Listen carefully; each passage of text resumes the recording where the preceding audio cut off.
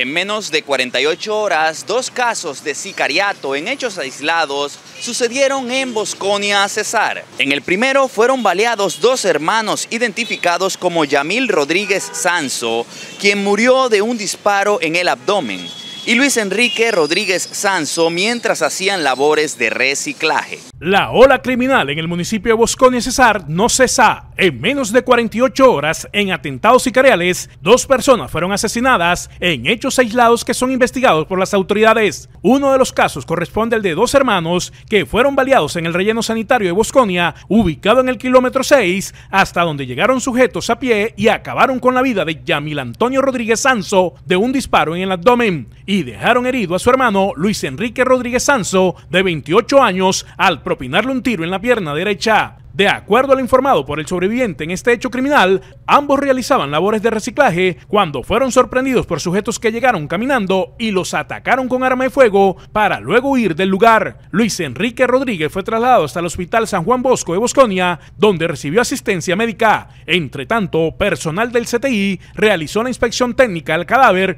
y lo trasladaron a la morgue de medicina legal. Asimismo, se iniciaron las investigaciones para esclarecer los móviles y dar con los responsables de este ataque sicarial. Ayer en horas de la tarde se realizaba en el municipio un consejo de seguridad extraordinario con presencia de las autoridades locales y fuerza pública para analizar la situación de orden público en el territorio y tomar decisiones administrativas que permitan devolver la tranquilidad a la comunidad. El segundo corresponde a Trinidad Barrios Rodríguez, quien fue asesinada con arma de fuego a la altura de la cabeza, y a Daluz Terán de 53 años, quien se encuentra en estado crítico.